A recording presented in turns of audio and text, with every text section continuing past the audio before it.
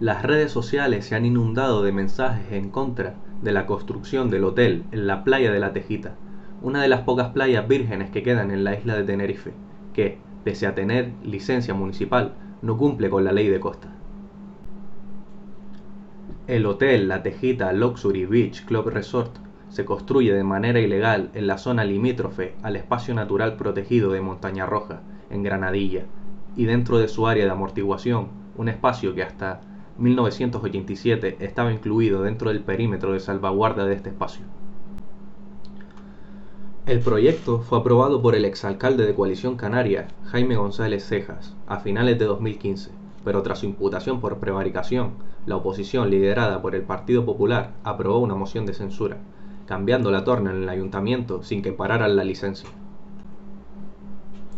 En 2016, la movilización social de vecinos y de los activistas bajo la plataforma Salvar la Tejita y ecologistas de ATAN consiguieron parar la licencia de obra en febrero de 2019.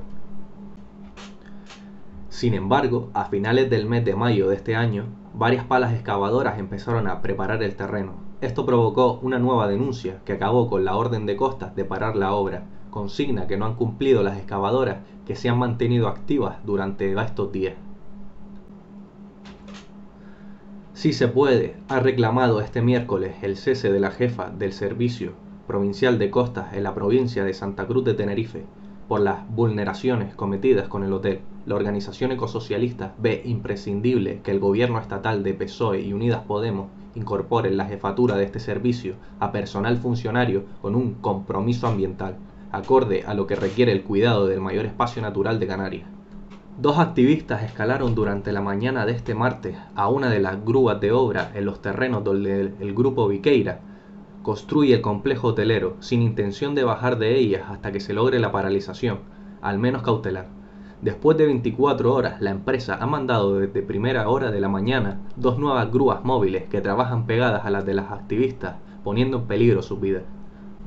El consejero de Transición Ecológica, Lucha contra el Cambio Climático y Planificación Territorial del Gobierno de Canarias,